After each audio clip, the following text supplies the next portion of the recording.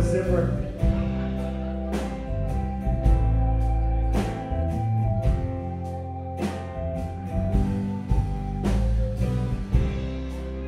Hey, Mr. Kelly, even a thrill.